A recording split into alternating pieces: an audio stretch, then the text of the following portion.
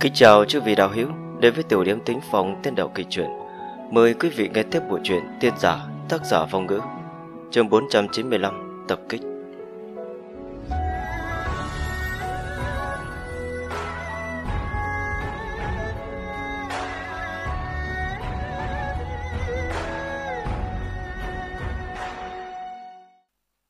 Thanh đồng, tặc tử ngươi!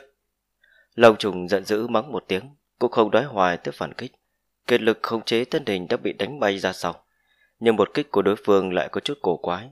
Một cốt lực lượng âm hiểm xâm nhập thể nội khiến pháp lực của gã vận chuyển trì trệ. Trong lúc nhất thời, không thể khống chế được thân hình, chỉ có thể chờ mắt nhìn bản thân bay tới hòa trụ nham tương. Càng hỏng bét là trong hòa trụ nham tương, vậy mà những tiếng ầm ầm toát ra của một con hỏa ngạc, thoạt nhìn là bị nham tương trong lòng đất cuốn lên trời, nó đang thất kinh. Nhìn thấy long trùng đánh tới, Hoa Ngọc mở cái miệng lớn như chậu máu, cắn tới eo của gã. Khoảng cách cả hai rất gần, pháp lực gã lại không nghe sai khiến, mắt thấy sẽ bị cắn thành hai đoạn.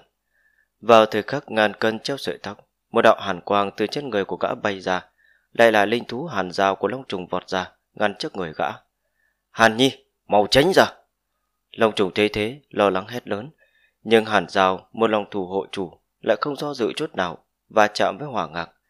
Đầu hỏa ngạc kia há miệng lớn cắn xuống, hàm răng sắc nhọn đâm xuyên qua lên phiếm của hàn dao. Hồng hằng cắn lấy cổ của nó, lên phiếm vỡ vụn, theo dòng máu màu xanh lam bắn tung tóe. Hàn dao phát ra tiếng kêu thê lương thảm thiết, nhưng không trốn tránh, một đôi lợi chảo hung hăng tóm chặt lấy hỏa ngạc, phòng ngừa nó làm tổn thương chủ nhân sau lưng. Hàn khí ngoài thân của hàn dao, cùng lúc khi thức nham tương nóng rực va chạm, dâng lên mảng lớn sương mù. Ngay sau đó, thân thể của Long Trùng va chạm vào người của Hàn Giao, lúc này mới dừng lại, gã lập tức bay nhào tới thì cứu. Chân gã điểm lên lưng của Hàn Giao, bất chấp pháp lực trì trệ, cưỡng ép thôi động trường thương, đâm vào đầu hỏa ngạc. Tiếc rằng lúc này pháp lực của gã bị hạn chế. Con hỏa ngạc kia hết lần này tới lần khác da dày thịt béo, đâm một cái, vậy mà chỉ đâm rách một chút lần giáp, căn bản không tạo thành tổn thương lớn. Hỏa ngạc bị đau, thân thể lăn lộn, cắn hàn dao muốn kéo vào bên trong hỏa trụ nham tương. Thân thể của hàn Giao lập tức có một nửa ngâm vào bên trong nham tương nóng rực, vài dày đặc lập tức bị thiêu tới đỏ bừng. Thấy hàn Giao sẽ hoàn toàn bị hỏa trụ nham tương bao phủ, thì một đạo điện quang bỗng từ bên trong sương mù bắn ra. Trong âm thanh dòng điệu rèn xoẹt, thân ảnh của viên mình cùng với lôi vũ hiện lên. Lôi vũ thi triển thần thông xét đánh, một đạo lôi điện thô to đánh trúng đầu hỏa ngạc. Hồ quang điện trói mắt lan tràn trên người của hỏa ngạc, Thân thể của nó bắt đầu co rút, miệng rộng cắn hàn dao lập tức buông ra.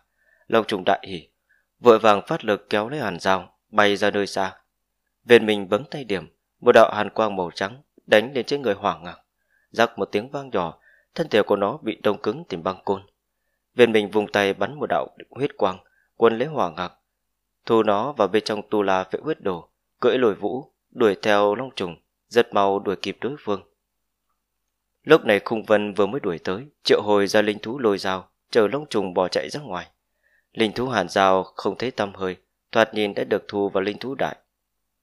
Viên huynh, ngươi bình an vô sự, quá tốt rồi. Không vân nhìn thấy viên mình, mặt lộ vẻ vui mừng. May mắn trốn được một mạng, nơi đây không an toàn, chạy đi rồi lại nói. Viên mình nói xong, điều khiển lôi vũ bay về phía trước. Viên huynh, đại ân không lời nào cảm tạ hết. Trên đường người tới có nhìn thấy thanh đồng không?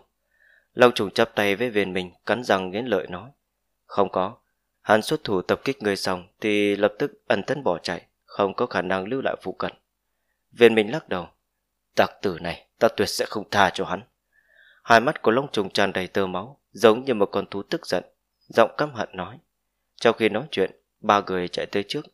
Phía trước núi lửa phút trào càng ngày càng nhỏ, ba người rất nhanh tới một khu vực an toàn. Đám người chạy ra trước đó, ngoại trừ thổ thắng, còn lại đều ở nơi này, ô lỗ cũng ở đó.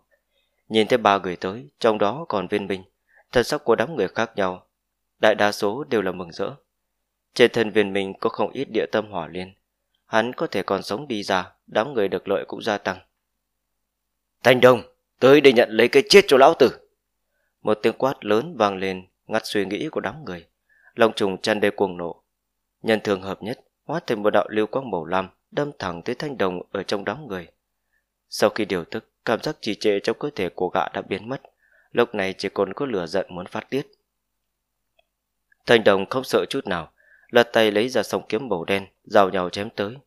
Một tiếng kim thiết giao kích vang lên, trường thương cùng với sau kiếm va chạm vào nhau, lập tức tách ra, kích thích một hồi cuồng phong, mấy người phụ cận bị tác động đến đảo lui lùi lại. Dừng tay, hai vị đạo hữu vừa mới kể vài chiến đấu, hiện tại sao lại như thế? Thiên bảo đạo nhân nhíu mày hỏi. Các người làm gì? Muốn đánh thì đi nơi khác mà đánh.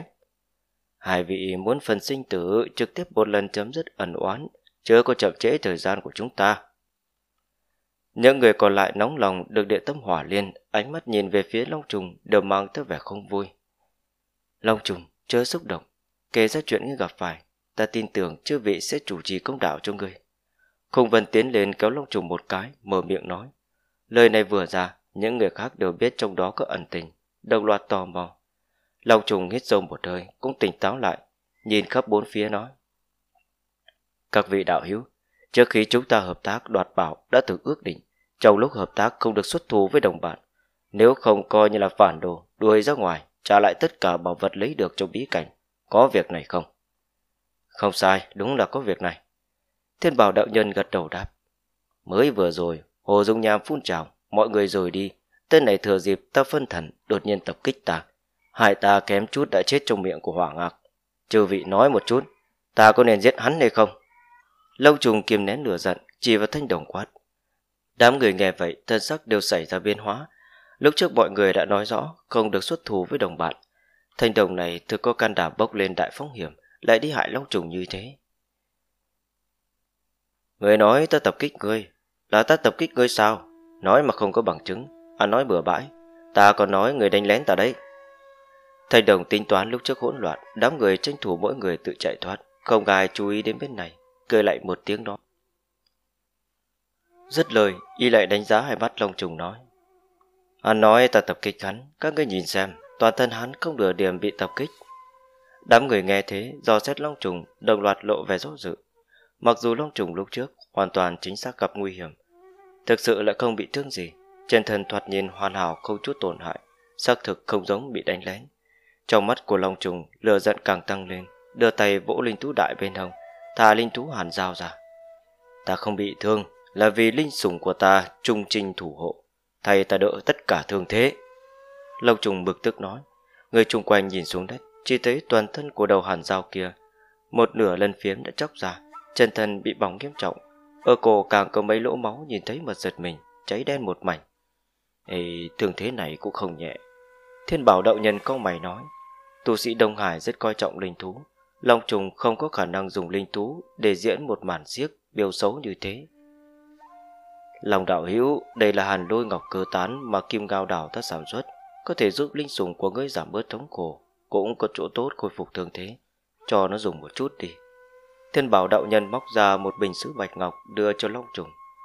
Đa tạ thiên bảo đạo hữu. Long trùng cũng không khách khí, tiếp nhận bình ngọc, lấy dược cao màu lam bên trong thoa lên miệng vết thương của hàn dao. Vết thương hàn dao lập tức nổi lên làm sắc quang mang, tạo thành một tầng màng mỏng manh màu lam bao trùm vết thương. Bề trong tản mắt ra từng sợi hàn ý, giảm bớt thống khổ cho nó. Long trùng lộ vẻ vui mừng, một lần nữa cảm tạ thiên bảo đạo nhân. Lòng đạo hữu, linh thú của người xác thực tổn thương rất thảm, ta cũng rất đồng tình.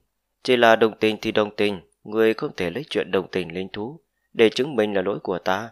Nếu người không trực tiếp đưa chúng ta chứng cứ, ta chỉ có thể cho rằng người đang phỉ báng ta. Thanh đồng thứ hàn rào tụ tướng nặng này, mừng thầm trong lòng, ngoài miệng lại nói như thế. Tặc tử, người...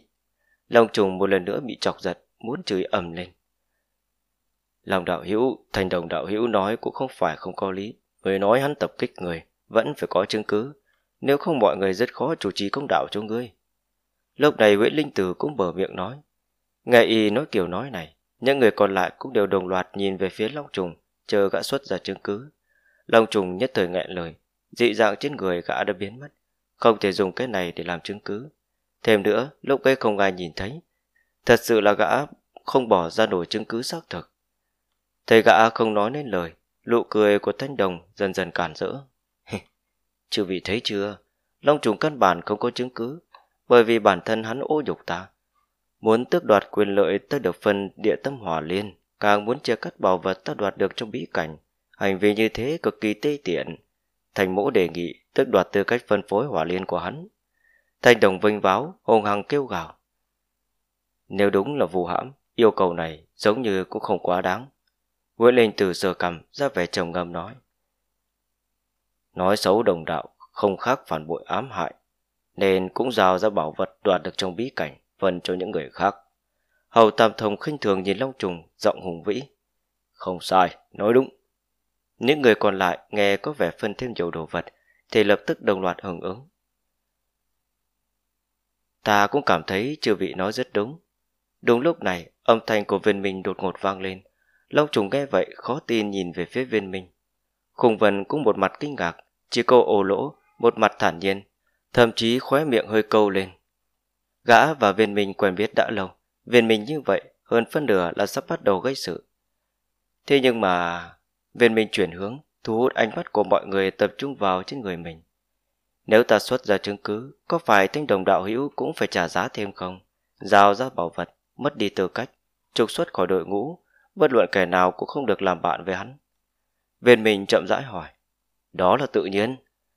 Câu chuyện trước mặt nằm lên, viên Minh gia tăng trừng phạt cũng không ai để ý. Viên đạo hữu nếu có chứng cứ cứ lấy ra đi, chúng ta nhất định xử lý công bằng. Thiên bảo đạo nhân nói, thanh đồng thêm viên Minh nói chắc như đinh đóng cột, trong lòng không khỏi siết chặt, âm thầm cảm thấy không ổn.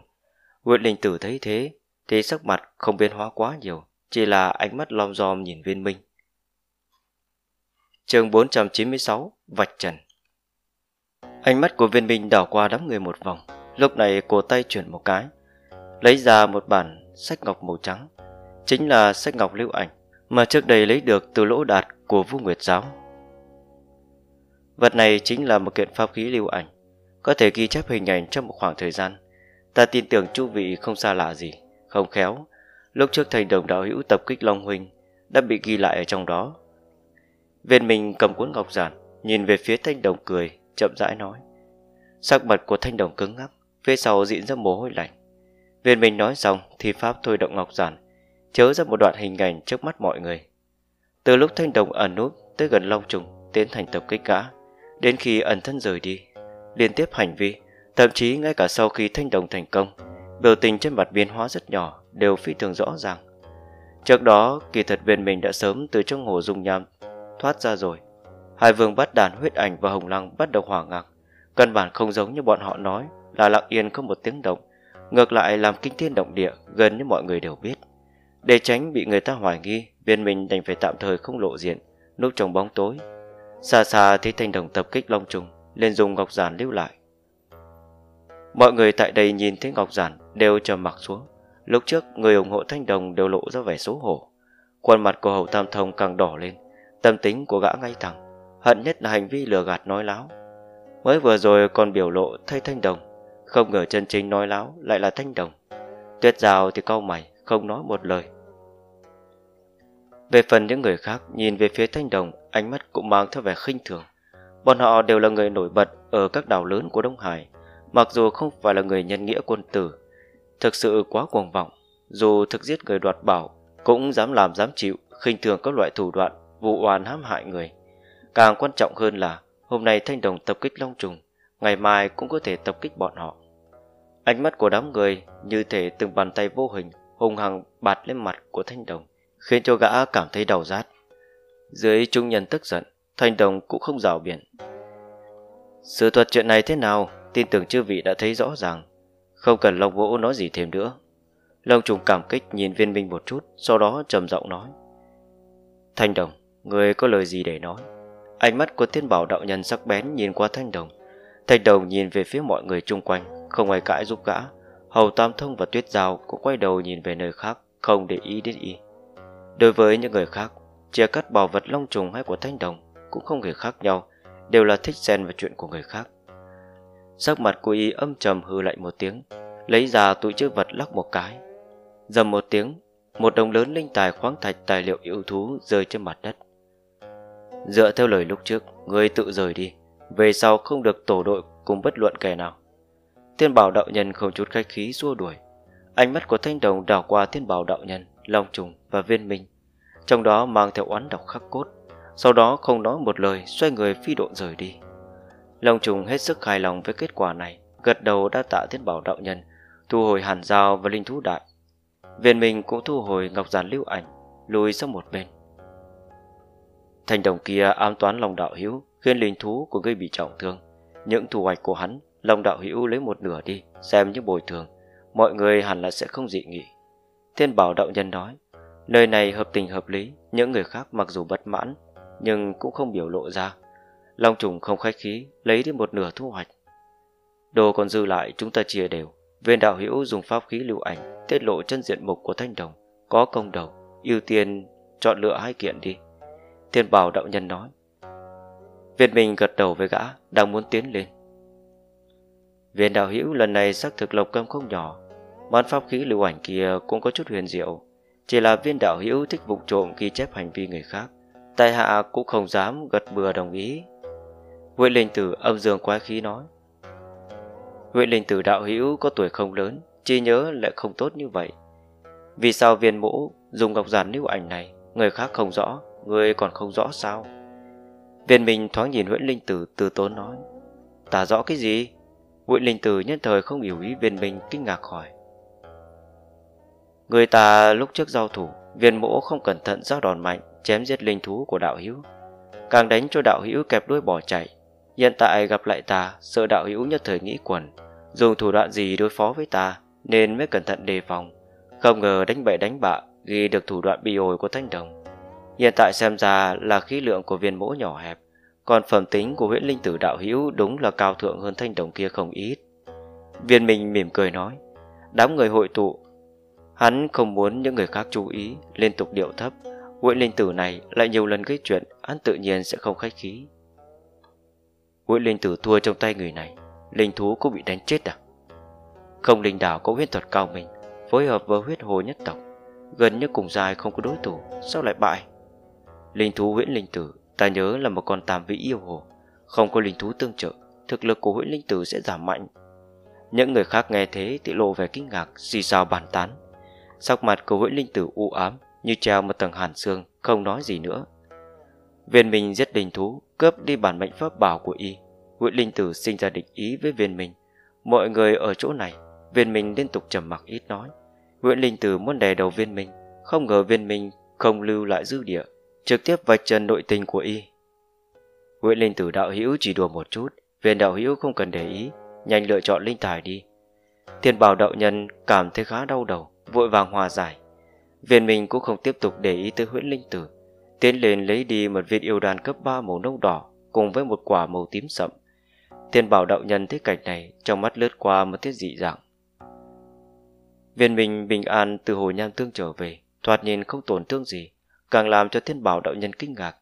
Gã để viên mình ưu tiên lựa chọn linh tài, một mặt là lấy lòng kết giao, một mặt khác cũng là muốn thăm dò nội tình của viên minh.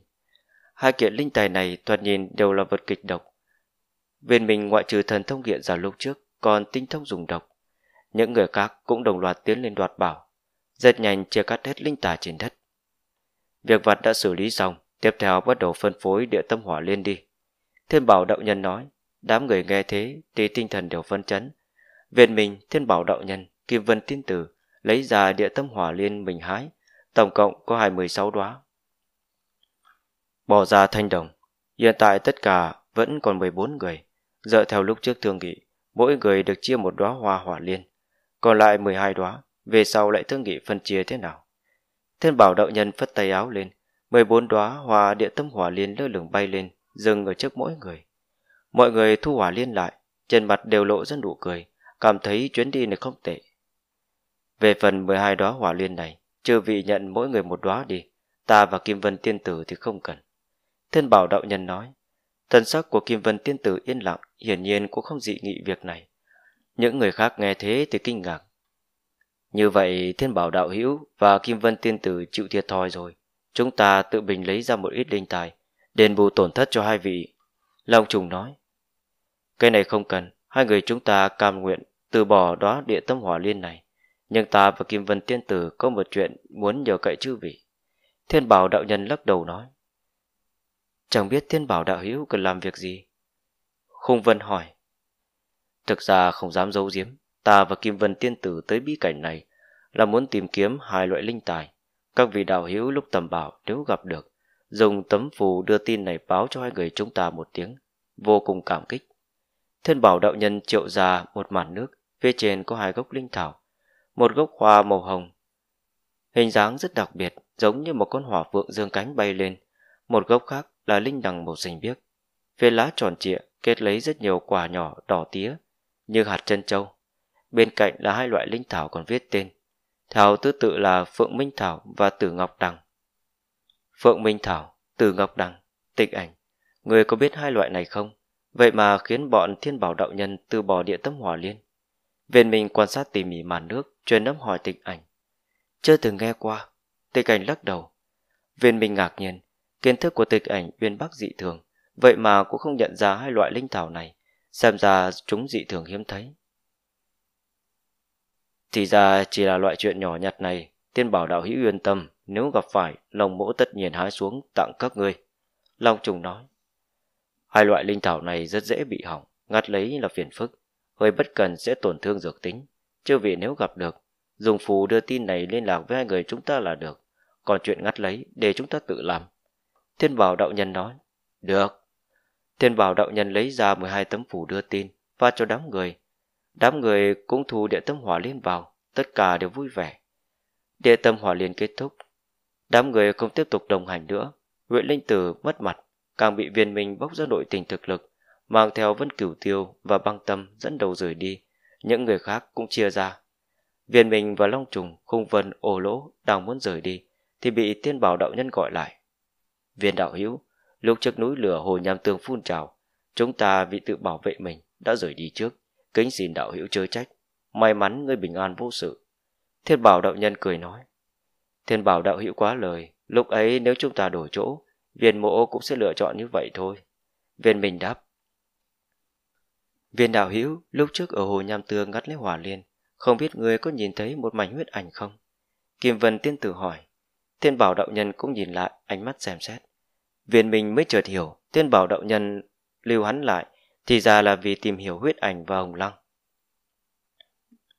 Kim Vân Tiên Tử nói là huyết quang nuốt sống đầu hỏa ngạc cấp 4 kia, ta cũng nhìn thấy, rất đáng sợ. Viên Minh thầm mắng huyết ảnh và hồng lăng, trên mặt lại lộ ra vẻ ngưng trọng, một bộ dáng nghĩ mà sợ. Viên đạo hữu lúc ấy ở trong hồ nham tương, không biết có thấy dị thường gì không? Kim Vân Tiên Tử nhìn chăm chú ánh mắt của viên Minh tiếp tục hỏi. chương 497, ngấp nghé. Vậy thì không có, ta bị đầu hỏa ngạc vương cấp 4 kia đánh bay, chìm vào chỗ sâu nham tương, lại bị vài đầu hỏa ngạc tập kích, thật vất vả mới dựa vào pháp bảo thoát khỏi. Ngoại trừ nhìn thấy đạo huyết ảnh kia, cô không phát hiện dị thường gì khác. Viên mình lắc đầu, về mặt không lộ ra sơ hở mảnh may. Hồn tu của hắn dần dần sâu, không chế cảm xúc, ánh mắt biến hóa rất nhỏ, càng ngày càng tinh tế, cũng càng ngày càng tự nhiên. Kim Vân Tiên Tử nhìn chằm chằm viên minh, không thấy thần sắc của hắn có gì dị thường, rất nhanh thu hồi ánh mắt. Đạo huyết ảnh kia ta cũng nhìn thấy, xác thực hết sức kinh người. Hẳn là một loại yêu thú nào đó trong bí cảnh. May mà hắn không ra tay với chúng ta. Chỉ là từ chuyện này, càng đi sâu vào chỗ bí cảnh càng nguy hiểm. Chư vị hay là đồng hành cùng với chúng ta sẽ an toàn hơn. Thiên bảo đạo nhân nói. Thiên bảo đạo hữu có hảo ý, nhưng bọn ta còn có chuyện khác, không thể đồng hành cùng với hai vị. Viên mình lễ phép cự tuyệt. Trong từ tinh cửu long thương của hắn trôn giấu bí mật, hơn phân nửa liên quan tới bí cảnh này, hắn không muốn để nhiều người biết rõ. Đã thế không cần bắt buộc, mới bị bảo trọng. tiên bảo đợi nhân ôm quyền nói, cùng với Kim Vân tiên tử phi độ rời đi. Giật nhanh ở chỗ này chỉ còn lại mấy người viên minh long trùng.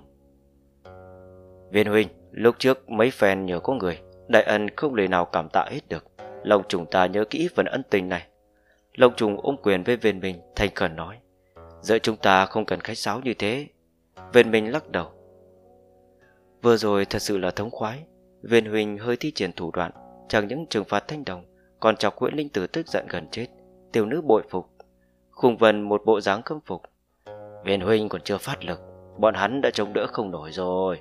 Ô lỗ cười nói Được rồi, đừng chọc ghẹo ta nữa Nơi đây không nên ở lâu Chúng ta mau chóng rời đi thôi. Viên Minh đề nghị mấy người hơi nghỉ ngơi một lát rồi một lần nữa xuất phát. Thân ảnh của đám người viên minh biến mất, Mặt đất chỗ bốn người đứng hơi nhúc nhích, trôi ra một con tiểu thử màu vàng, chỉ lớn cứ lòng bàn tay. Lỗ tai vừa to lại vừa dài, thoạt nhìn là dị trùng yêu thú, lại không có chút yêu lực nào. Tiểu thử tai to nhảy ra, tốc độ khá nhanh, rất mau tới một tòa núi phụ cận cách đó mấy chục dặm. Hai đạo thân đảnh đứng ở chỗ này lại là Kim Vân Tiên Tử và Tiên Bảo Đạo Nhân. Tiểu thử tay to thả người vọt lên, rơi vào bờ vai của Kim Vân Tiên Tử, chui miệng vào người nàng. Kim Vân Tiên Tử đùa một cái với tiểu thử, bấm niệm phá quyết điểm vào mi tâm của nó, một phù văn màu vàng chậm rãi hiện ra, lập tức sụp đổ tiêu tán. Chân thân của tiểu thử hiện lên một cỗ yêu lực đạt tới cấp 2, kêu chi chi tựa như đang nói cái gì đó. Kim Vân Tiên Tử nhăn mày, sau đó thu tiểu thử vào bên trong linh thú đại. Thế nào? Không tham thính được tin tức gì hữu dụng sao? Thêm bảo đạo nhân thấy thế thì hỏi. Nói đều là chuyện vặt vãnh không liên quan, hy vọng trường nhĩ không bị phát hiện. Kim Vân Tiên Tử nói. Trường nhĩ đồn thử có thể mượn đại địa che giấu khí tức, dù tu sĩ nguyên ảnh cũng chưa chắc có thể phát hiện được. Người quá cẩn thận rồi, nghe lén mấy tu sĩ kết đàn nói chuyện, còn đặc biệt phong vấn yêu lực của nó. Thiên bảo đạo nhân có chút xem thường nói. Mấy kẻ khác thì cũng thôi đi, mà thám thính vị viên minh kia Cẩn thận hơn cũng không đủ Kim Vân tiên tử nói Thì ra người nọ tên là viên minh Người đánh giá hắn rất cao. Tiên bảo đạo nhân nói, Nếu thật sự giao thủ, Đừng nói là người, Hai chúng ta liên thủ, Chỉ sợ cũng chưa hẳn là đối thủ của hắn. Kim Vân tiên tử từ tốn nói Nói vậy cũng khó tránh khỏi quá nói ngoa đi. Viên binh kia chỉ là kết đàn sơ kỳ, Đều nhờ vào đầu linh thú lồi thuộc tính kia Mới có thể đi đến hiện tại. Có năng lực gì mà đánh bại ngươi và ta liên thủ?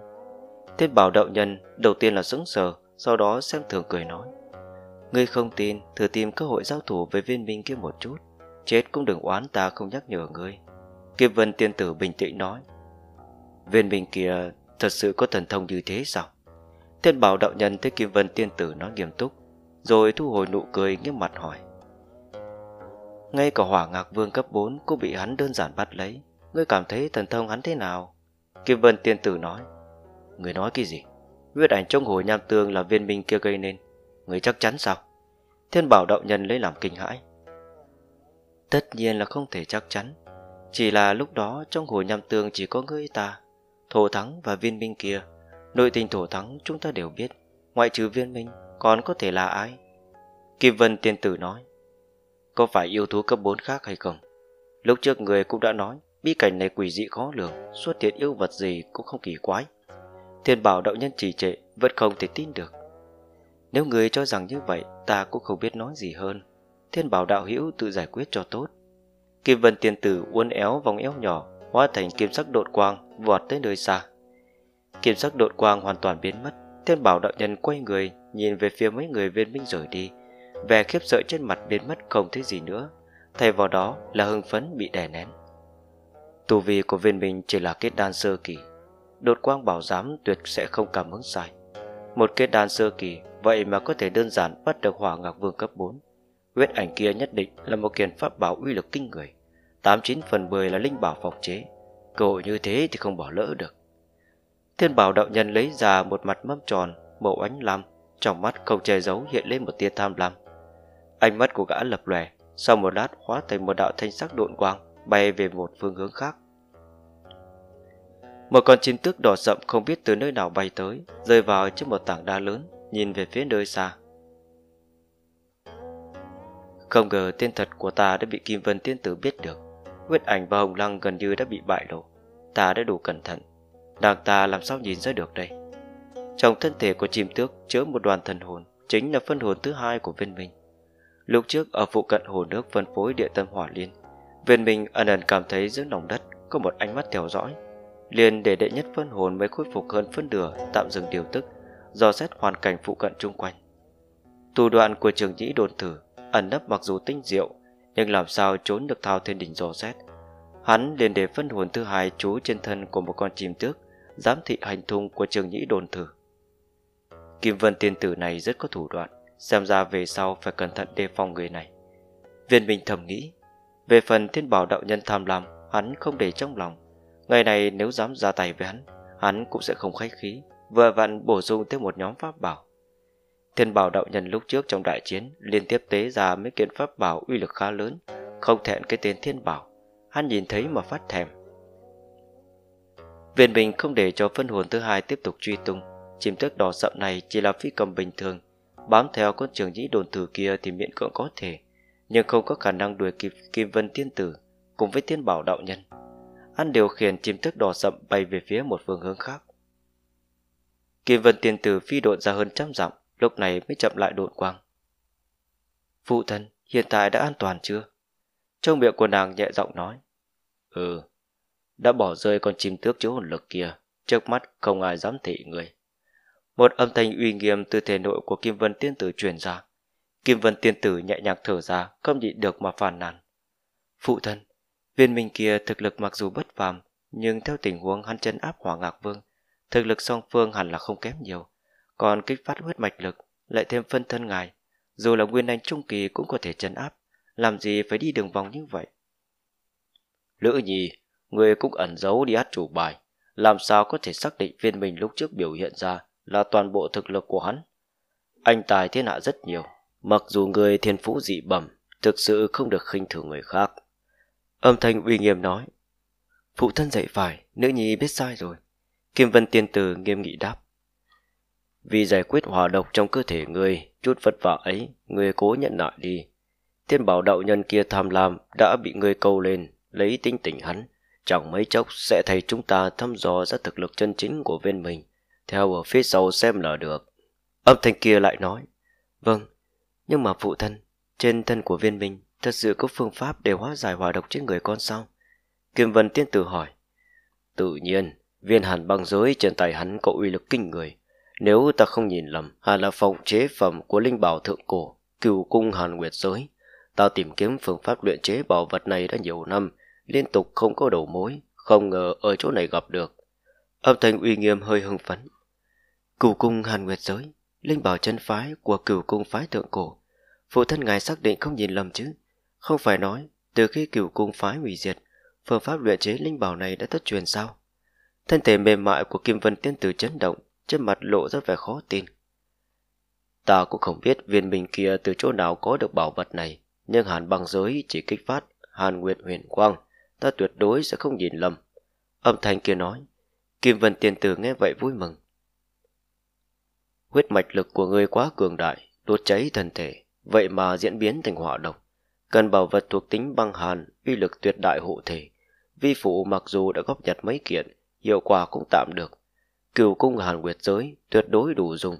Dựa vào mấy năm qua ta thu tập được linh tài hàn băng, không dám nói tăng món phòng chế phẩm kia lên tới cấp linh bảo, nhưng khôi phục làm sáu phần mười uy năng thì tuyệt không thành vấn đề.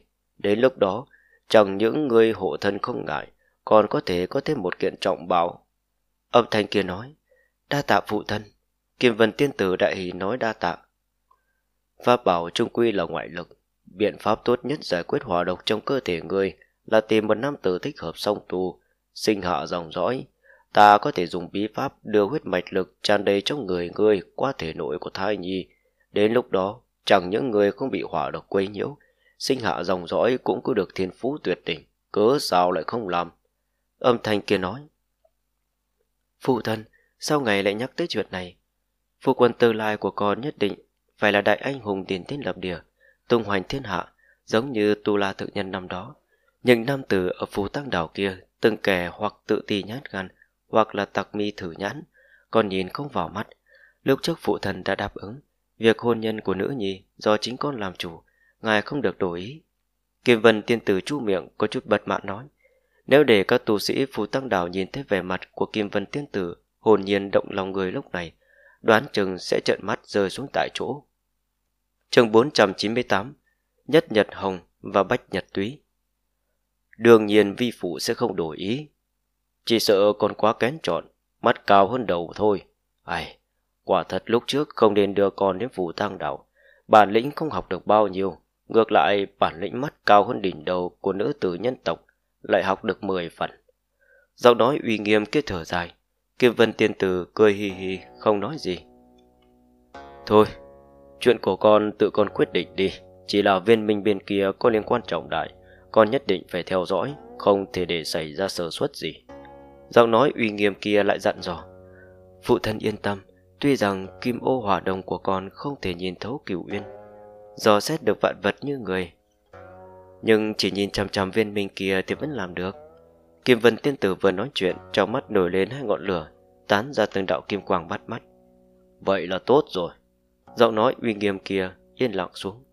Kim Vân Tiên Tử thu hồi kim quang trong mắt, tiếp tục bay về phía trước. Bốn người viên minh đi được một đoạn, lông mày của viên minh đột nhiên khẽ động, lập tức khôi phục bình tĩnh, nhìn xuống bên dưới. Trước mặt bọn họ là một khe núi, nhìn qua sâu hùn hút, mắt thường không thể nhìn thấy đáy.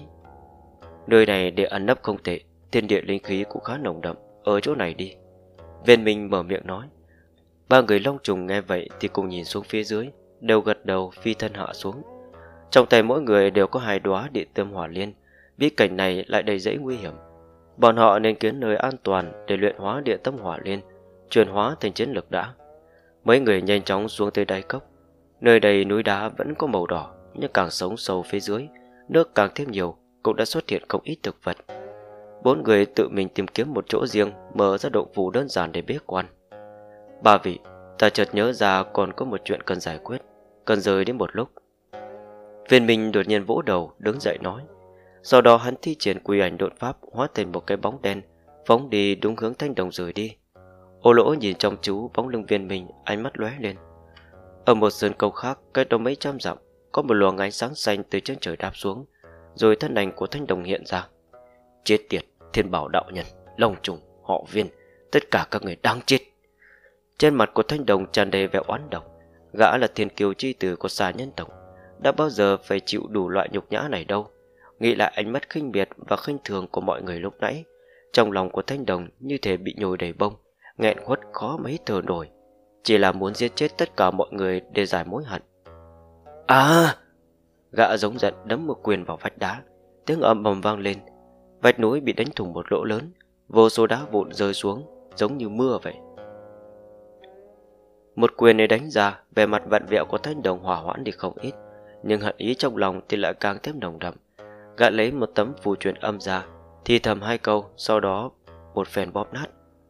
Còn ở một bên khác của đại lục màu đỏ này, Nguyễn Linh Tử và Băng Tâm cùng với Vân Cửu Tiêu đang nhanh chóng đi xuyên qua một khu vực rừng rậm rạp, cố gắng tìm kiếm một nơi an toàn tĩnh lặng để luyện hóa địa tâm hỏa liên vừa mới lấy được. Nhưng ngay lúc này, trên người của Nguyễn Linh Tử chợt lóe lên một đốm sáng xanh, gã dừng bước, lấy tấm truyền âm phù từ trong ngực ra, đưa thần thức dung nhập vào bên trong. Thành đồng có biện pháp đối phó với Long Trùng và tặc tử họ viên kia. Ánh mắt của Nguyễn Linh Tử lóe lên, địa tâm hỏa liên đã tới tay. Việc cấp bách trước mắt vẫn nên nuốt hỏa liên vào rồi luyện hóa, gia tăng thực lực. Nhưng viên mình đã hủy diệt pháp bảo bản mệnh, đánh chết linh thú của gã, còn nhục nhã gã ở trước mặt mọi người, nên hận ý của Nguyễn Linh Tử đối với viên mình cũng cực sâu.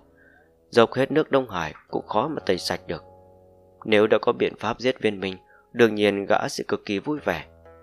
Huệ Linh Tử âm thầm cân nhắc một phen, Trung Quỳ vẫn cảm thấy hận ý đối với viên minh chiếm thượng phong, nên mang theo hai người còn lại bay về phía xa, nhanh chóng tới chỗ sơn cốc của thanh đồng. Nhưng vừa tới nơi, sơn cốc lại trống rỗng không một bóng người, cũng không thấy thân ảnh của thanh đồng đâu cả. Hả? Người đâu?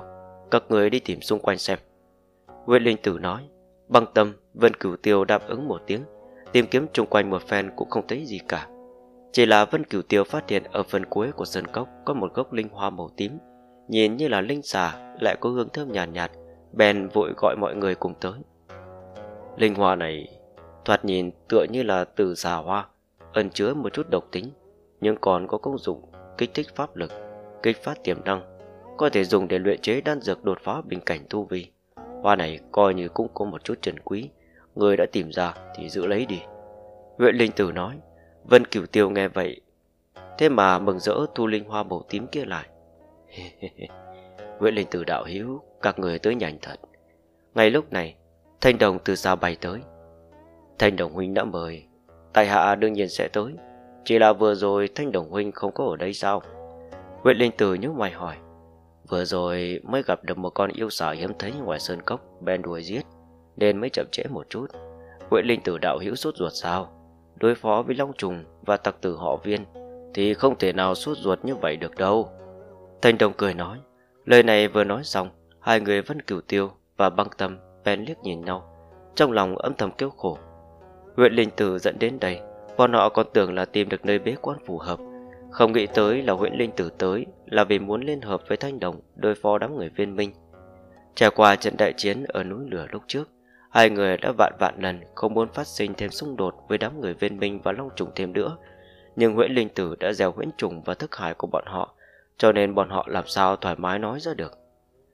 Vậy nhờ chỉ giáo cho, không biết biện pháp đối phó với đám Long Trùng mà Thanh Đồng Huynh nhắc tới trong lần truyền tấm phù là gì. Tuy không muốn thừa nhận, nhưng thần thông của họ viên kia và Long Trùng, Hùng Vân cũng không tệ. Dù chúng ta liên thủ cũng chưa chắc đối phó được với bọn họ. Nguyễn Linh Tử nói, đương nhiên thành mộ cũng biết bọn họ khó chơi. Chẳng qua xà nhân tộc có nhiều thủ đoạn không cần phải chính diện chống lại bọn họ. Nguyễn Linh Tử đạo hữu có nghe nói qua nhất nhật hồng của xà nhân tộc ta chưa? Thành đồng hạ thấp giọng nói, nhất nhật hồng chính là loại tuyệt độc được xưng là vô sắc vô vị đến tù sĩ Nguyên Anh Kỳ cũng không thể nào phát hiện ra. Sau khi trúng độc thì toàn thân sẽ đỏ lên, đau đớn tận cốt tủy, kéo dài một ngày một đêm, nhận hết vô tận tra tấn mới có thể chết y. Huyện đình Từ còn chưa nói, Vân Cửu Tiêu ở bên cạnh thốt ra, giọng nói còn lộ ra một chút sợ hãi. Kim Liên Đảo có kịch độc truyền thừa nên cũng nghe nói đến nhất nhật hồng của xa nhân tộc, cảm thấy vô cùng e sợ. Kiến thức của Vân Đạo Hữu thật phong phú, Thanh Đồng hơi bất ngờ nói. Đại danh của Nhất Nhật Hồng, Phạm là người có chút kiến thức ở Đông Hải này đều biết cả. Chỉ là ta nghe nói luyện chế Nhất Nhật Hồng cực kỳ gian nan. Toàn bộ xa nhân tộc cũng không có mấy bình. Trên người của Thanh Đồng Huynh có à? Nguyễn Linh Tử liếc mắt nhìn Vân Cửu Tiêu một cái rồi nói. Thanh Đồng không nói gì. Lật tay lấy ra một bình ngọc màu đỏ rượu. Trên mặt viết một chữ nhất thật lớn. Tốt quá, có bình nhất nhật hồng này. Dù long trùng hay họ viên kia cũng coi như chết chắc rồi. Nếu chúng nhất nhật hồng, quả thật bọn họ sẽ chết chắc. Thế nhưng vừa rồi huyễn linh tử đạo hữu nói không sai, thần thông của đám người long trùng không tệ.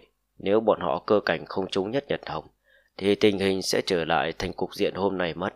Để đề phòng sơ hở, ta đi thỉnh giáo tuyết giáo và hầu tam thông trợ giúp thêm.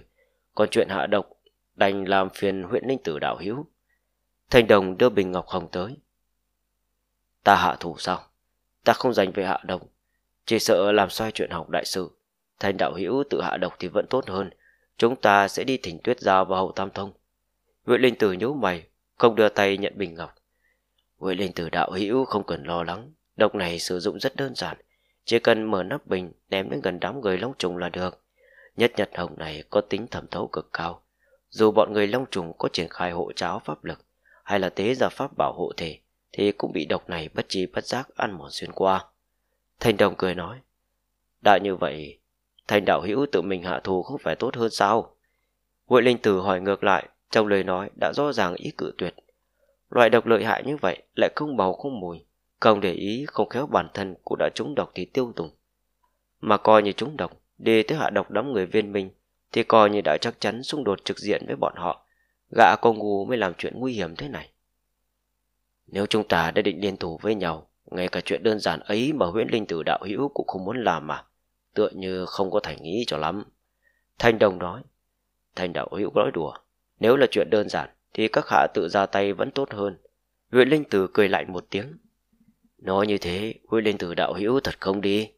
Thanh Đồng lại hỏi. Lần này huyễn linh tử lười trả lời mà đứng dậy đi ra ngoài cốc. Vân Cửu Tiêu và Băng Tâm vội vàng đuổi theo.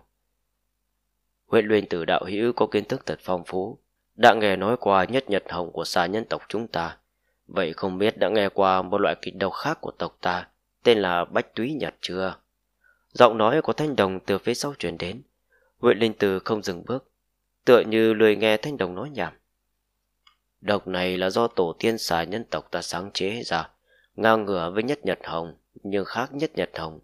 Ở chỗ là bách nhật túy lại có một loại kịch độc mãn tính, chậm rãi xâm nhập vào cơ thể địch ẩn thân, ẩn nấp chừng 100 ngày sau đó mới bộc phát. Lúc loại độc này phát tác thì lại không hề có chút thống khổ. Người trúng độc chỉ như say rượu mê man, bất chỉ bất giác mà chết. Chỉ là sau đó cũng sẽ không thể trả ra bất cứ độc tố nào. Cho nên tuy Bách Nhật Túy lợi hại, giết người trong vô hình nhưng lại không hề nổi danh. Thanh đồng vẫn ngồi đó không nhúc nhích tiếp tục nói. Bạch nhật túy khác nhất nhật hồng ở chỗ, loại độc này không cách nào cất giữ trong các loại dụng cụ như bình, lọ, hồ lô, mà phải chứa trong nhị hoa của tử xà hoa, sử dụng khá bất tiện. Thanh đồng lấy ra một bầu rượu từ tốn nói. Nguyện linh tử nghe tới đây thì chợt dừng bước, sắc mặt đại biến. Cửu vân tiêu và băng tâm cũng thoát cái mà toát mồ hôi lạnh khắp người. Người chúng bách nhật túy, thân thể không có gì khác lạ. Chỉ là lúc mới trúng độc, kịch độc còn lưu ở bên ngoài, nên phần da ngực sẽ xuất hiện những đường vân màu tím nhạt. Sau khi kịch độc xâm nhập, tiến vào bên trong cơ thể, thì những đường vân màu tím đó cũng biến mất. Ba vị xem thử trước ngực mình, có phải là đã trúng độc rồi hay không? Thanh đồng ngửa đầu hớp một ngụm rượu mà cười nói. Nguyện linh từ kéo vạt áo của mình ra, sắc mặt thoáng cái đã tái xanh. Da ngực gã đột ngột có thêm mấy đường vân, như linh xà màu tím, đang dường nành múa vuốt, biểu thị bản thân đang tồn tại. Trên ngực của hai người Vân Cửu Tiêu cũng thế, nhất là Vân Cửu Tiêu. Đường vân trên ngực rõ ràng nhất, nên ánh mắt của y đầy thê thảm. Hết chương 498, cảm ơn và hẹn gặp lại chư vị.